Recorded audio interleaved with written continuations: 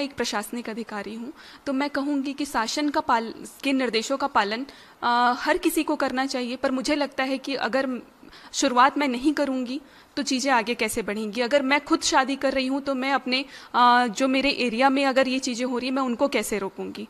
तो इसीलिए मुझे लगा कि मुझे ये डिसीज़न लेना चाहिए ताकि आगे भी लोगों के लिए एग्ज़ाम्पल मैं बन सकूँ। और जब आपको चीज़ें धीरे धीरे हम एक साथ आगे बढ़ेंगे तो ज़रूर चीज़ें एक समय में नॉर्मल होंगी। और अभी हमारे पास बहुत टाइम है। आपका कोई रिश्ता जुड़ रहा है, आप अच्छे माहौल में, अच्छे समय में रिश्ता जोड़िए। कोई नया काम कर रहे हैं, अच्छे समय पे करिए जब पूरा परिवार आपके साथ हो। अभी आप अकेले उस काम को करेंगे भी तो आप, क्योंकि शादी ऐसी चीज़ें दोबारा नहीं हो सकती है। तो आप परिवार के साथ मिलके, अपने लोगों के साथ मिलके, जब तक उनके प्यार और आशीर्वाद आपको नहीं मिलेगा, अकेले आप उस शादी को कामयाब नहीं बना पाएँगे।